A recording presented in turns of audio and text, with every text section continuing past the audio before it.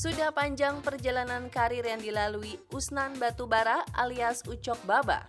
Semenjak merantau ke ibu kota, lelaki kelahiran Sipirok Tapanuli Selatan 10 Mei 49 tahun lalu sudah mencoba semua profesi, dari bernyanyi, presenter, bermain film, sampai melawak. Di luar profesi keartisan, bapak empat anak ini juga pernah menyambung hidup dengan menjadi kernet biskota. Ucok memang pria bernyali besar, meski tubuhnya hanya bertinggi 91 cm. Setahun terakhir, namanya kembali redup. Jarang nongol di layar kaca.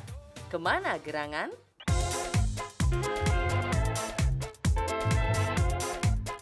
Diam-diam rupanya ia sedang menikmati pekerjaan baru sebagai pedagang durian. Bukan pedagang pinggir jalan, kawan karib dik doang mengelola dengan serius. Memilih tempat di Cimanggis, Depok, Ucok memproduksi sejumlah menu dari durian yang ia datangkan langsung dari Medan. Selasa, 10 Maret kemarin, selebritas yang bertamu dan melihat dari dekat tempat usahanya tersebut. Nah, ini baru nyampe Duren dari Medan, sudah ada yang nyerbu. Ya, kita mau lihat bagaimana oh, baru datang dari Medan, mobilnya masih ada. Ah, kita lihat aja. Ini dia.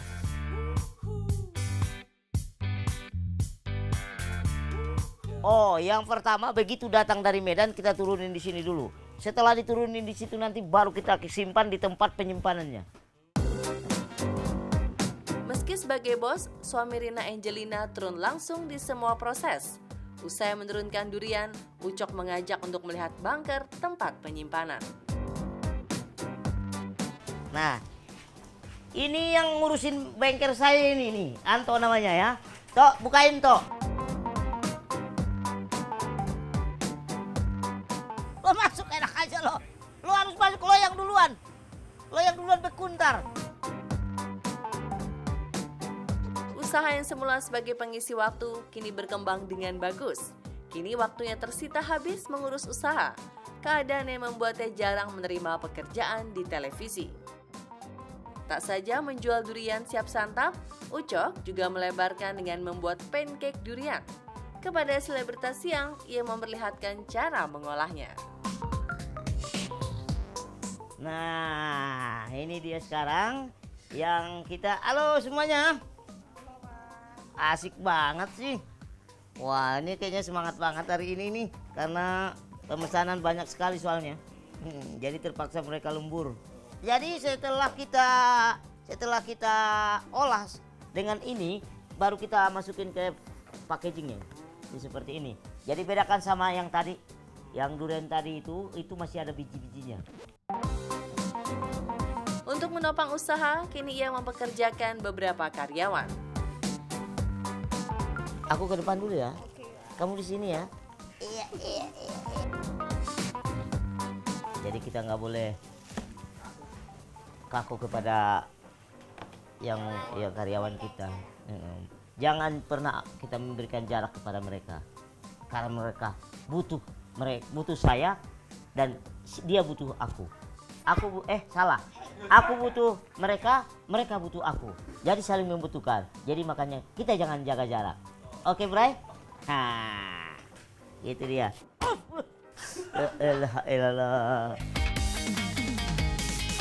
Setelah produksi selesai, Ucok Baba memperlihatkan proses packaging dari produknya tersebut.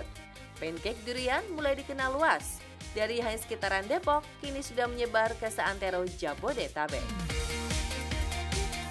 Nah, oke okay, pemirsa selebritas siang. Nah, sekarang kita setelah produksi tadi di belakang, nah sekarang kita tinggal packagingnya. Packagingnya bagaimana caranya?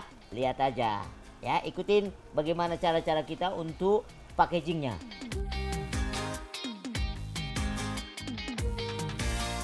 Nah, sekarang setelah di sudah di dipakum, kita masukkan ke dalam kotak.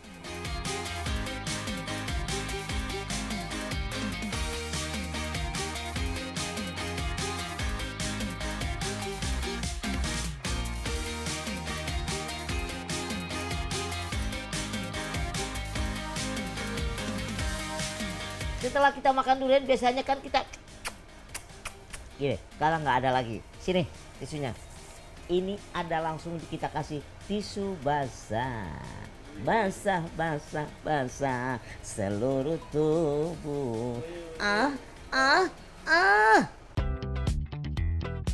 Ucok Baba memang bernyali besar. Ia tak patah semangat meski karir di dunia hiburan tersendat. Manuvernya menjadi pebisnis mulai menampakkan hasil.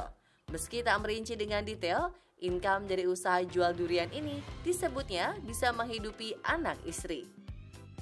Meski kini sudah jadi pengusaha, satu hal yang tak bisa dihilangkannya adalah naluri keartisan, terutama bernyanyi dan melawak. Ada saja tingkahnya yang membuat karyawan terhibur. Namanya juga entertainer sejati, tak melihat tempat, tak memandang waktu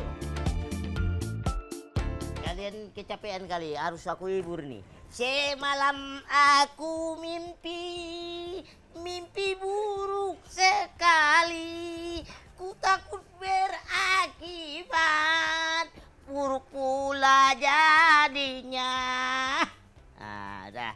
Udah jangan bengong. Ayo eh, kerja kerja kerja. Oke pemirsa selebritas siang, sampai di sini perjumpaan kita. Terima kasih banyak sekali sudah mengikuti keseharian saya di tempat usaha saya. Oke, mudah-mudahan dengan kehadiran saya di sini membuat berkah buat kita semua ya. Oke, makasih banyak. Saya mau pulang dulu. Oke, dadah.